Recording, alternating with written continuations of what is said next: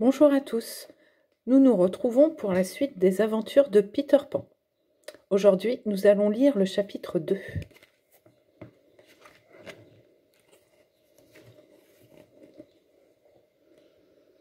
Chapitre 2 L'ombre Nana, qui était sortie dans la cour, entendit le cri de Madame Darling et se précipita dans la chambre des enfants. Dans un grognement terrible, elle se jeta sur l'intrus. Mais c'était sans compter sur la rapidité de Peter, qui, d'un bond, s'enfuit par la fenêtre. Il disparut en une seconde, laissant une lueur dans le ciel, comme une étoile filante. Madame Darling, reprenant ses esprits, s'aperçut alors que Nana avait réussi à attraper, dans sa gueule, l'ombre de l'enfant. Elle la prit, l'examina elle ne lui trouva rien de particulier. Elle la roula soigneusement et la rangea dans un tiroir.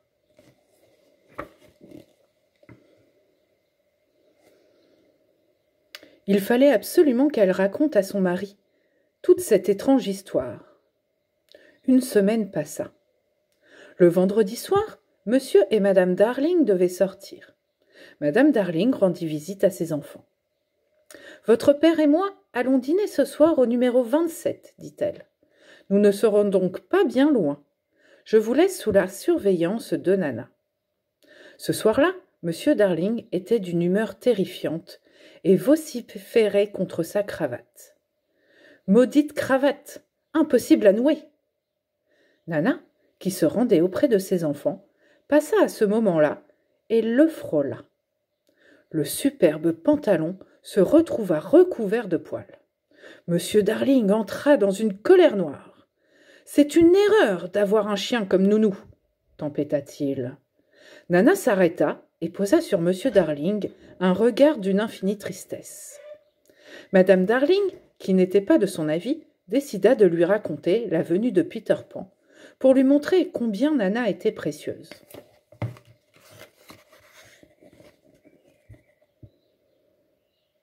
Monsieur Darling éclata de rire. Pourtant, lorsque madame Darling lui montra l'ombre, il parut interloqué. Mais sa colère ne faiblit pas pour autant.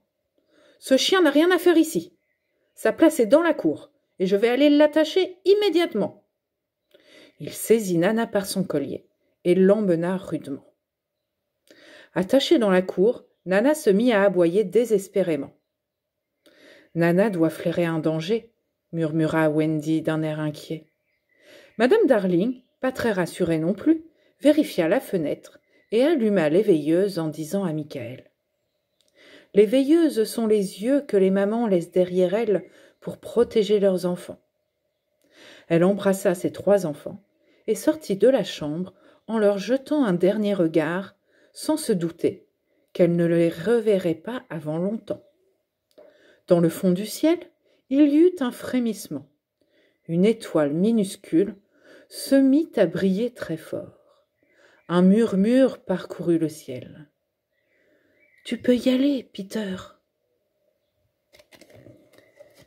Et voilà pour aujourd'hui, chapitre 2 de Peter Pan.